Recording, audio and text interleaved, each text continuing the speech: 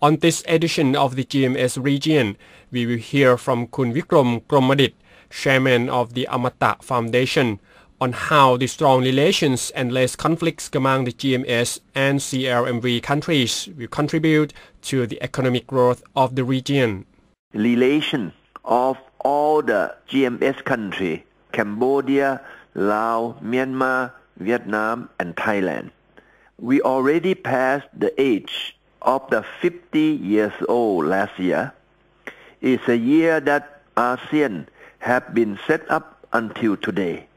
I would like to say after 50 years old of ASEAN's member, we would like to say we are the one area that we are cooperate together with 10 countries very closely. I don't think that uh, after the 50 year we will have some any conflicts uh, like in the past. The past we have the the Vietnam War or the conflicts of the border of some country in the region. I don't think that this thing will be happen in the border as we are not serious as used to be because uh, once we are already is a member of the ASEAN and the ASEAN is a one family then no much people to concern so much about the border. Of course, the border is a border.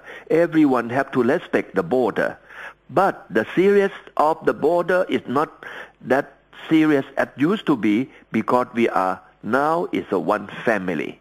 If we are looking about the EU, European Union, we may see that European Union is a one of the model that the ASEAN uh, follow up. And we are follow the one of the big family of the maybe 27 country and then everyone can go over the border freely. That is the, the objective that we would like to go to be the same one family, one policy, and one goal. The country of those five country GMS area uh, sit together and we, be, we do believe FTA, the free trade agreements that we have been signed and that we have been cooperate, we are moving better and better year by year. People in the region after the 50 year believe in the cooperation. The cooperation will bring in the everyone benefit.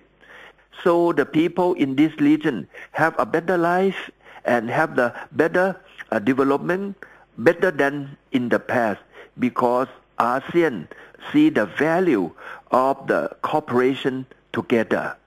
In our next edition, we will have some more information from Kun Vikrom Krommadit on the bright future of the economic development in the GMS countries as their conflicts have been resolved through discussions and compromise.